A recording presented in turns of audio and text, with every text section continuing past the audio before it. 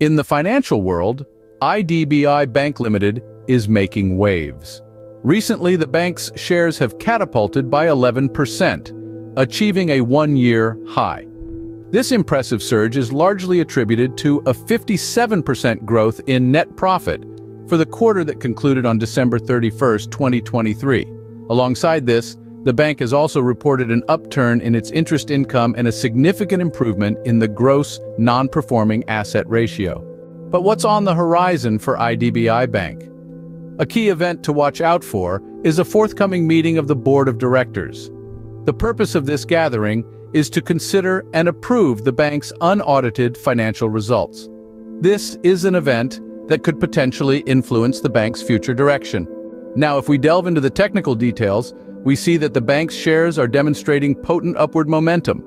However, financial analysts are advising caution, suggesting that the stock might currently be overbought. They recommend booking profits at the current levels. For those interested in the finer details, support on the counter could potentially be seen at 75 rupees. A decisive close above 85 rupees would be required for a further upward move. From a fundamental perspective, IDBI Bank Limited is showing strong signs of growth and potential. But as with all investments, it's important to conduct a thorough analysis before making any decisions. In summary, IDBI Bank Limited is experiencing a period of growth with a recent surge in share prices and promising financial results.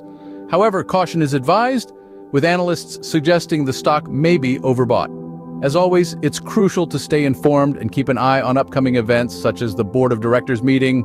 This has been your financial update on IDBI Bank Limited. Stay financially savvy.